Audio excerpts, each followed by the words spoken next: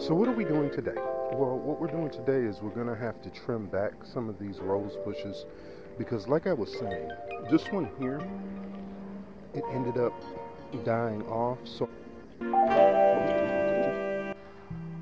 this tree here, or this bush here, would keep cutting it back to kind of keep it trained. And now at the bottom, I have to um, trim all of the new growth from the bottom.